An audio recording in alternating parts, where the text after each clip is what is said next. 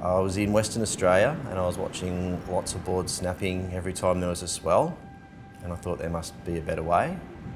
They're made out of polyurethane foam and a polyester fiberglass skin and they are toxic. I'm Stu Bowen, I'm a circular designer and I'm reinventing the surfboard.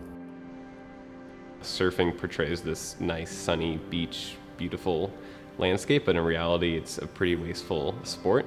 Surfboards might last a year and then all this plastic piling up is actually a real concern for the environment. Stu reached out about changing the way surfboards are manufactured and wanting to do that with Autodesk by actually creating a more robust 3D model of a surfboard so that if we needed to make changes to the board, like change the rail curves or the rocker or the length, we could do that parametrically and do that quickly. The project's all about optimization of engineering and materials combined with replication. Replication to enhance performance, which then is ultimately better for the environment.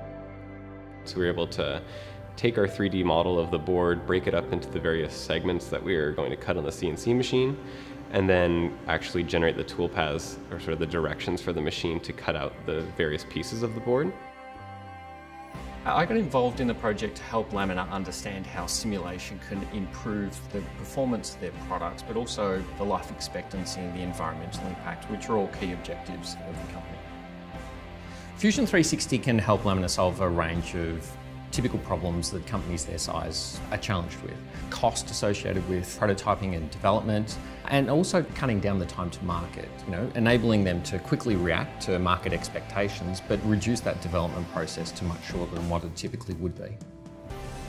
We're reinventing and re-engineering the surfboard to perform better and last longer. The ultimate goal is to eliminate waste entering the environment.